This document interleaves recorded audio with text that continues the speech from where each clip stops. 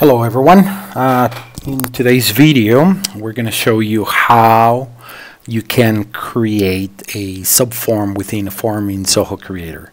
In fact, this is the correct way of adding a subform to your Zoho Creator forms so that you can link them properly on a one-to-many relationships um, in the database. So I'm going to create a new database here very quickly. Uh, bear with me one second. Let's see. Here it is. I'm gonna build one from scratch. And this is subform 101. Subforms 101. I'm gonna create it. And we're gonna do a very simple, let's see, order. I'm gonna do an order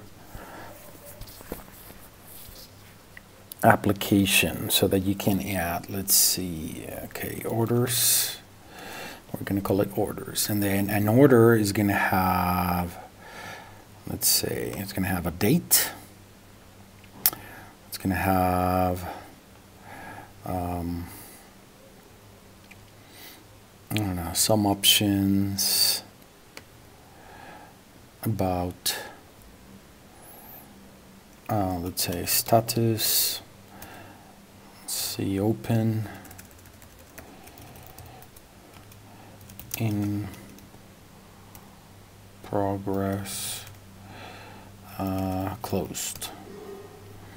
Just to name a few we're gonna have a three column here. And then we're gonna put the subform here but first we need to build it. So in order to do that we're gonna create another form. This is critical. We're gonna call it items and we are gonna put it under orders section. We need to store the data. That's good. Okay now very quickly again we need to have let's say a description about the item.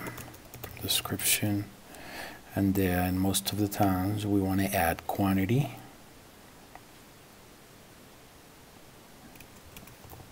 And then price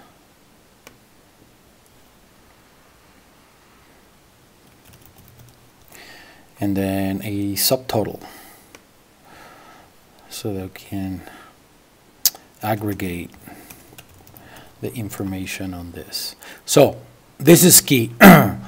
Check this out. The first step that you always have to do is you go to the orders form and then you need to add the subform that you just built into the form. So in this case, I'm going to add items, okay?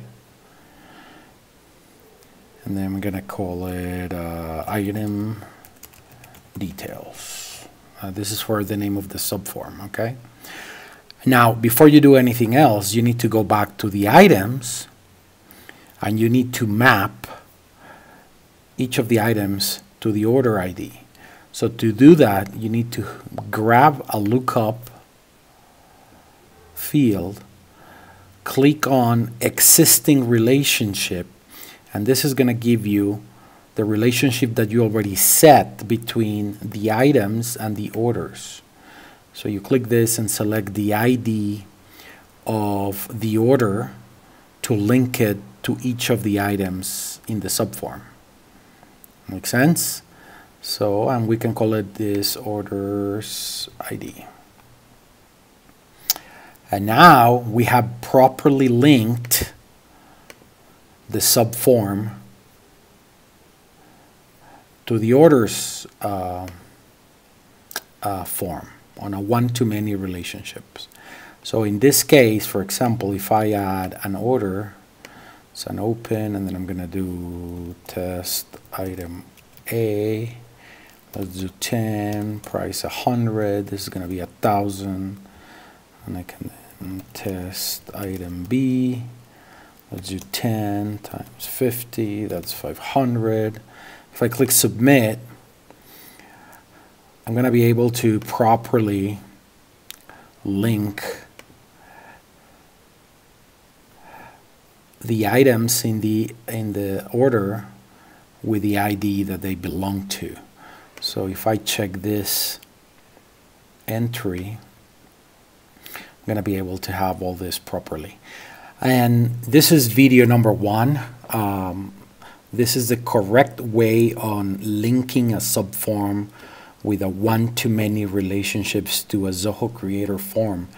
In video number two, I will show you how you can keep building on this order form so you can have uh, an aggregate of the subtotals at the bottom and make sure that these items automatically update um, independently. All right, keep uh, watching these videos. Let me know if you have any questions and look forward to see you around our site. Thank you so much.